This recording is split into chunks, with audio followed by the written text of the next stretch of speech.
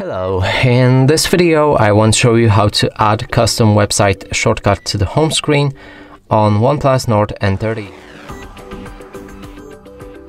And to do this we'll need to launch our Google Chrome and find the website that we want to add as shortcut.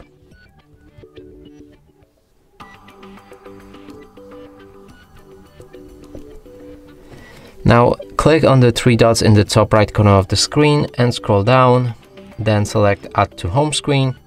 Here you can uh, sorry here you can name your icon however you like but it's not necessary. Click on add to add the icon to your home screen. It should be visible in the last available space. You can click on it and here we have it. And that's it for this video. Hope you like it. Please consider subscribing to our channel. Leave a like and a comment below